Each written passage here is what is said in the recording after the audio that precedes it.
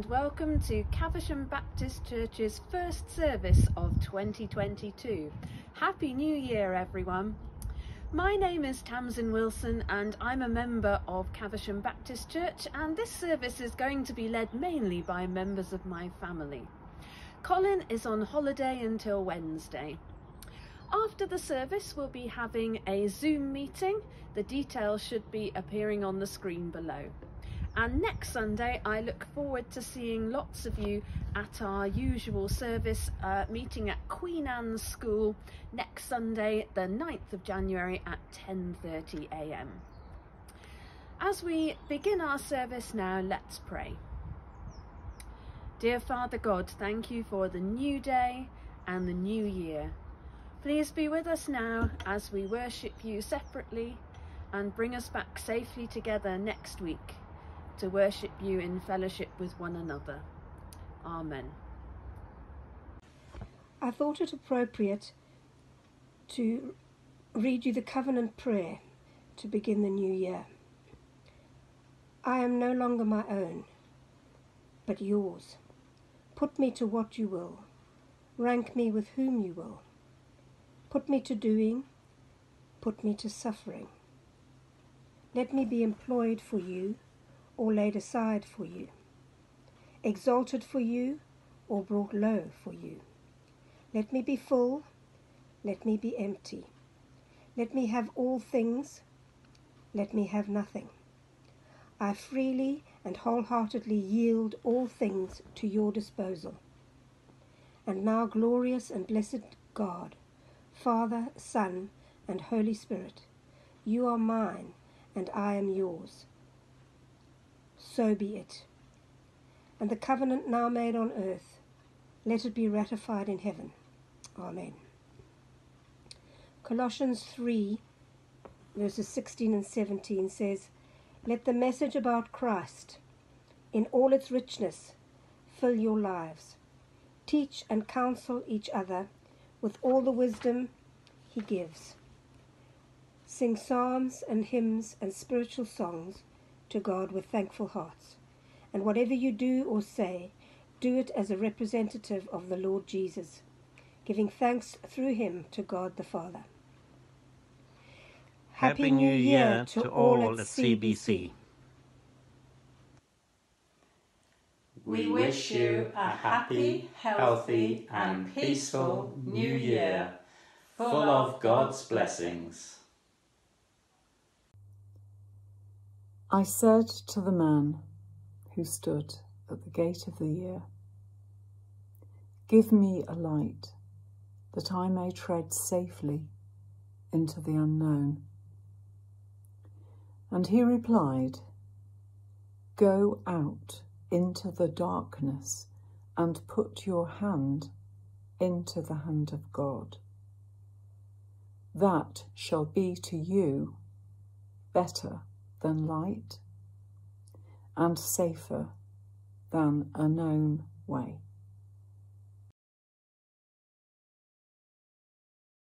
Praise be to the God and Father of our Lord Jesus Christ, the Father of compassion and the God of all comfort, who comforts us in all our troubles, so that we can comfort those in any trouble with the comfort we ourselves receive from God. For just as we share abundantly in the sufferings of Christ, so also our comfort abounds through Christ. If we are distressed, it is for your comfort and salvation. If we are comforted, it is for your comfort, which produces in you patient endurance of the same sufferings we suffer. And our hope for you is firm because we know that just as you share in our sufferings, so also you share in our comfort.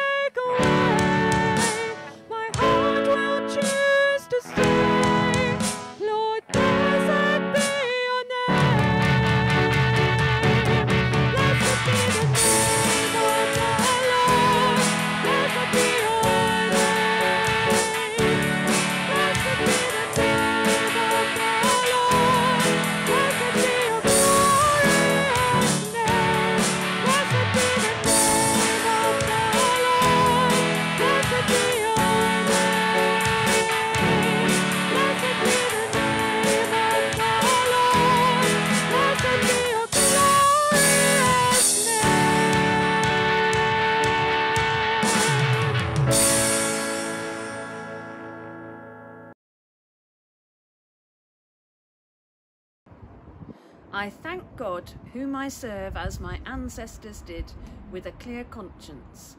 As night and day I constantly remember you in my prayers. Recalling your tears, I long to see you, so that I may be filled with joy. I am reminded of your sincere faith, which first lived in your grandmother Lois and in your mother Eunice, and I am persuaded now lives in you also.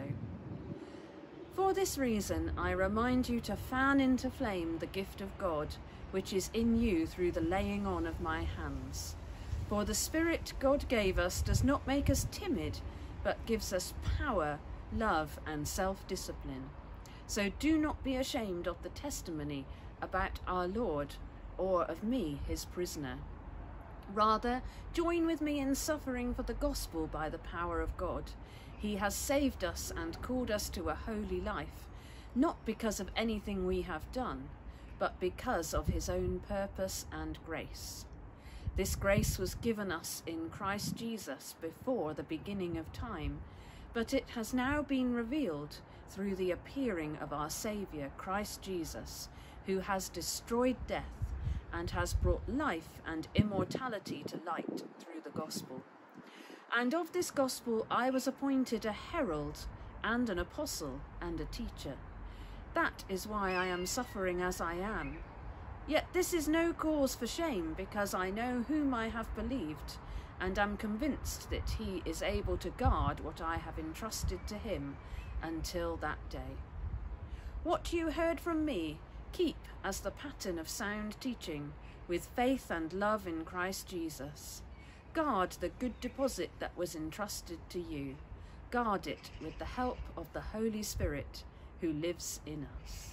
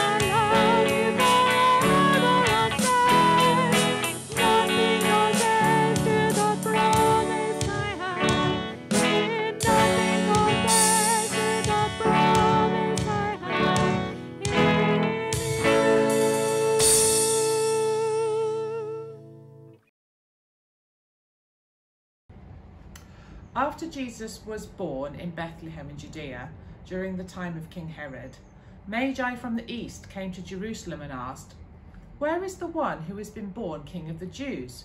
We saw his star in the east and have come to worship him. When King Herod heard this, he was disturbed, and all Jerusalem with him. When he had called together all the people's chief priests and teachers of the law, he asked them where the Christ was to be born. In Bethlehem in Judea, they replied, for this is what the prophet has written. But you, Bethlehem, in the land of Judah, are by no means least among the rulers of Judah. For out of you will come a ruler who will be the shepherd of my people Israel. Then Herod called the Magi secretly and found out from them the exact time the star had appeared. He sent them to Bethlehem and said, Go and make a careful search for the child. As soon as you find him, report to me, so that I too may go and worship him. After they had heard the king, they went on their way, and the star they had seen in the east went ahead of them until it stopped over the place where the child was. When they saw the star, they were overjoyed. On coming to the house, they saw the child with his mother Mary, and they bowed down and worshipped him. Then they opened their treasures and presented him with gifts of gold and of incense and of myrrh. And having been warned in a dream not to go back to Herod, they returned to their country by another route. On the second Sunday after Christmas, we traditionally celebrate the visit of the wise men to the baby Jesus and their gifts of gold, frankincense, and myrrh. They certainly were unusual gifts for a baby boy born into a lowly family in Judea. I don't know about you, but from time to time I've wondered about what happened to these gifts. Bible certainly doesn't give us any clues, and although I understand there are some legends and theories, there's no real evidence. I wonder if Mary and Joseph even appreciated these gifts. I'm sure from time to time, perhaps even in the last couple of weeks maybe, you have received unwanted gifts and had to face the challenge of thanking the giver whilst wondering what on earth you're going to do with them. Sometimes it's because we've received two gifts the same, other times it's because people have decided to ignore our wish lists and give us something of their own choosing that isn't quite right. I'm sure everyone giving a gift thinks they are being generous and helpful, but sometimes a gift can be something of a burden. I have a particular recollection of one Christmas when I was a child. We just installed a pond in our back garden, and my grandparents decided that they wanted to give us something to go with the pond. So on Christmas morning, we had the joy of tearing the wrapping paper off to uncover a set of garden gnomes. I apologise to anyone who loves garden gnomes but these were really not something I can imagine anyone wanting in their garden. They were nasty and plastic and frankly rather ugly. My mum straight up refused to have them on display in the garden. However, you don't like to cause offence, particularly in the family. So for some years afterwards, whenever my grandparents arrived, the cry went up, put out the gnomes! I don't know if my grandparents ever worked out that their gift wasn't fully appreciated. Perhaps they thought we loved them because we had kept them so clean that they looked like they'd just come out of the box, which of course they had. Anyway, they're no longer around to ask. In our married life, Tamsin and I have developed a system for dealing with unwanted gifts. In our house, we have a place called the regifting drawer. This is where we put the presents we've received that aren't actually any use to us. The following Christmas, we open the drawer and see if there's anything that we can use as a gift for someone else. It can be quite an effective form of recycling. You just have to be very careful not to return the gift to the person who gave it to you. Perhaps Mary and Joseph were into regifting. I'm sure the gold, which symbolised the kingship of Jesus, would have been useful. Unfortunately, I don't think the wise men were expecting a beautiful handwritten note explaining what suitable item had been purchased with the funds. In practice, I suspect it was very helpful for Mary and Joseph as they were undoubtedly quite poor and they were about to take an expensive journey to Egypt to flee from Herod's persecution.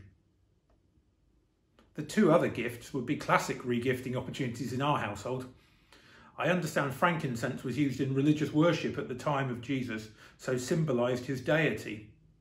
Perhaps a good gift for Uncle Zechariah, father of John the Baptist and a priest in the temple. Myrrh is used for embalming dead bodies, which as a gift symbolises Jesus' mortality as human and speaks of his death to come. That would be a really tough one to get rid of. I'm not sure anyone, particularly elderly relatives for whom it's most likely to come in handy, would really appreciate being given that. However, regifting should be something that all Christians do. We've all been given gifts to allow us to serve God, and it's our responsibility to pass on these gifts by using them to serve others and to further God's kingdom in our community. However, the most important Christmas gift is, of course, the good news of Jesus, come to earth to be our Saviour. This good news really is a gift worthy of regifting all year round. It certainly shouldn't be, be confined to the regifting draw for a year only to be bought out next Christmas. As our reading from 2 Timothy says, it's something to be passed on. Lois passed it to Eunice, who passed it on to Timothy himself. Later in chapter 2, Paul instructs Timothy to entrust the good news to reliable people who will also be qualified to teach others and pass it on themselves. Regift it so that it can be regifted again and again.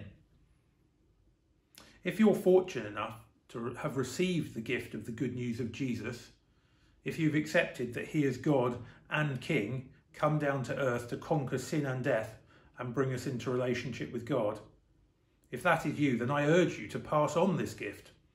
Too many people in Caversham and beyond have yet to hear of this amazing gift, and it should be our mission as a church to give it to them.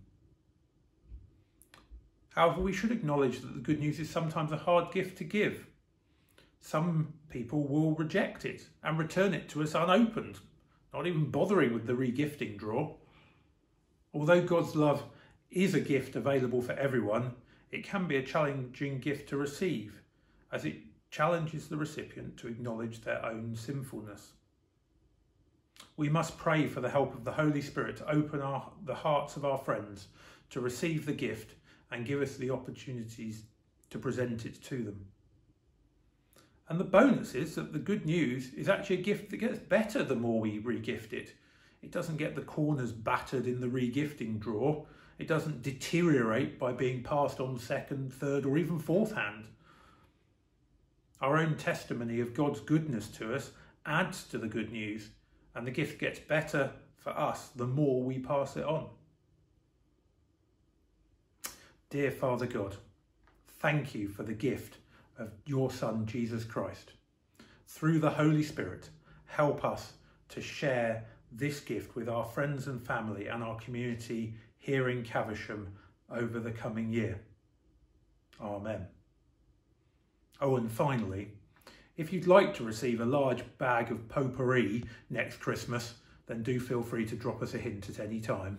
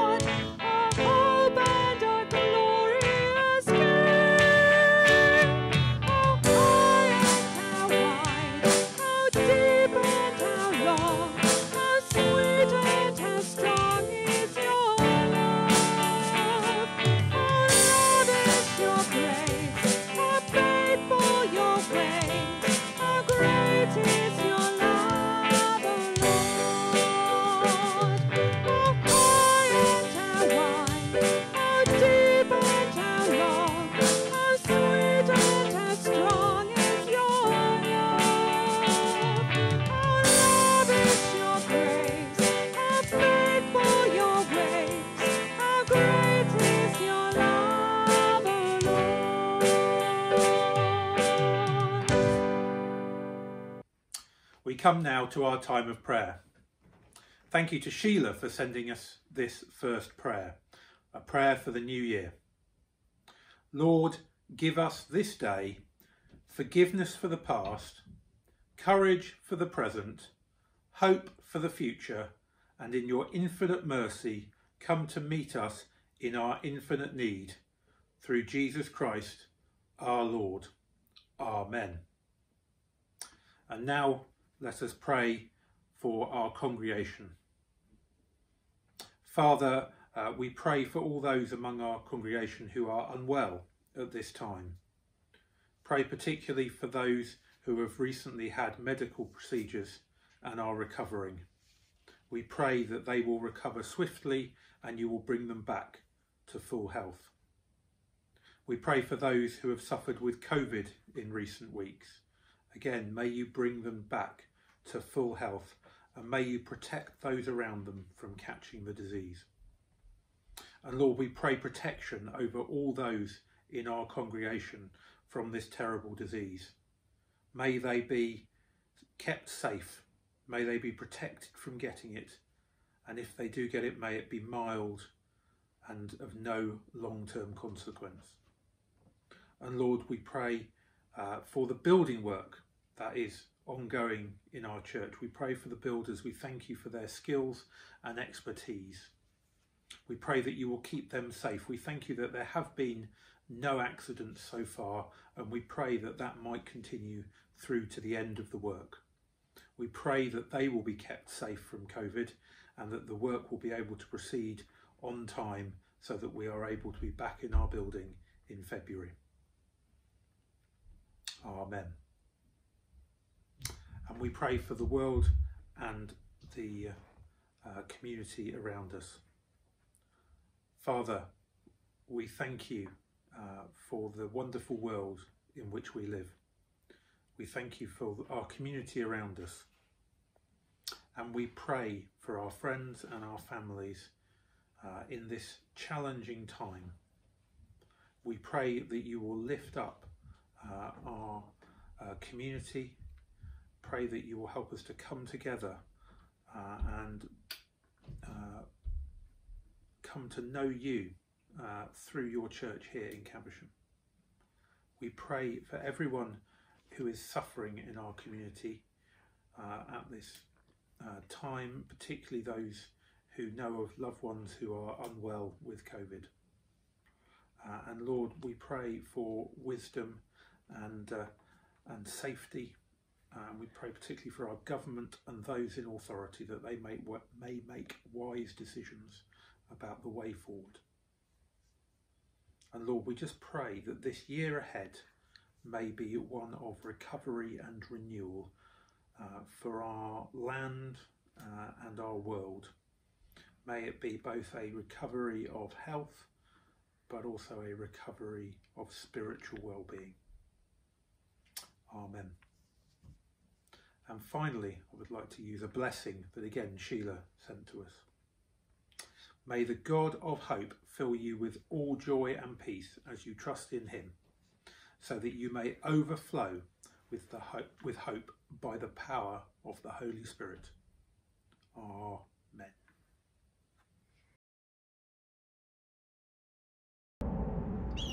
The end of all things is near. Therefore be alert and of sober mind, so that you may pray. Above all, love each other deeply because love covers over a multitude of sins. Offer hospitality to one another without grumbling. Each of you should use whatever gift you have received to serve others as faithful stewards of God's grace in its various forms. If anyone speaks, they should do so as one who speaks the very words of God. If anyone serves, they should do so with the strength God provides, so that in all things God may be praised through Jesus Christ. To him be the glory and the power for ever and ever. Amen.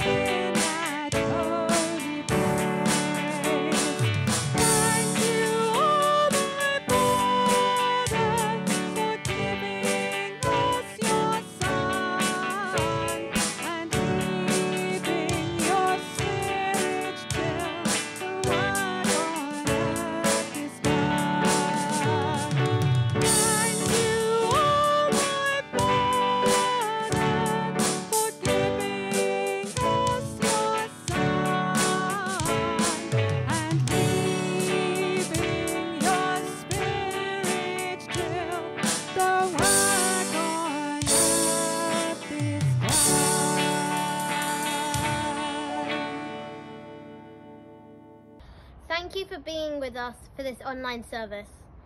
Let's finish our service by saying the Lord's Prayer together.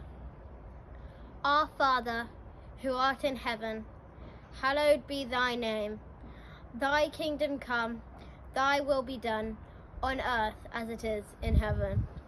Give us this day our daily bread, and forgive us our trespasses, as we forgive those who trespass against us. And lead us not into temptation, but deliver us from evil. For thine is the kingdom, the power, and the glory, forever and ever. Amen.